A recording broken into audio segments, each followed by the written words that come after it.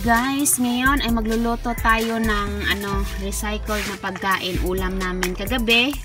Hindi na ubos kaya i-recycle ko para naman hindi masayang. Ito.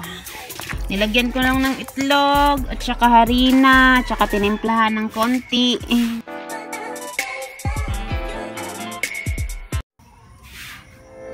So, kita nyo, may talong, kalabasa, batong, tsaka ano to, pichay, sayuti. So, ayan na.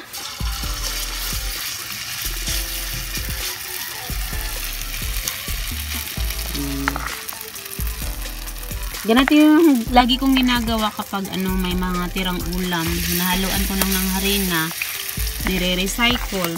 At ayun, ulam na rin ulit. Hindi nasasayang yung pagkain.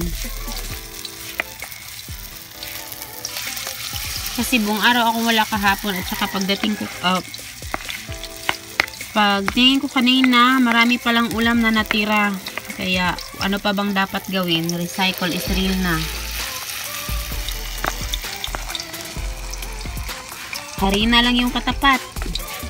Tsaka prito. Oh.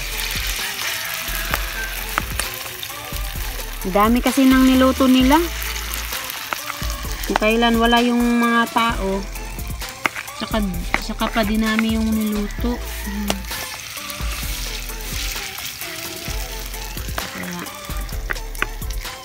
ayan dito na ako sa labas nagluto hmm.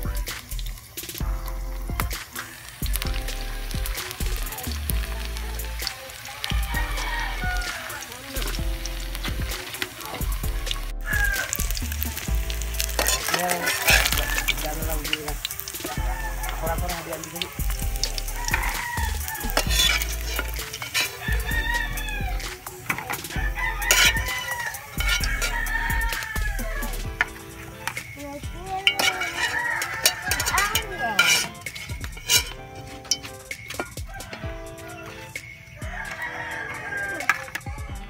ayan. Luto na ang aking patis.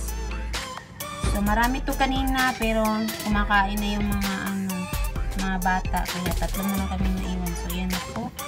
Luto na yung recycled patis ko. Gulay na patis. So, thank you for watching. Sana may natutunan kayo sa video ito. Bye-bye! Thank you!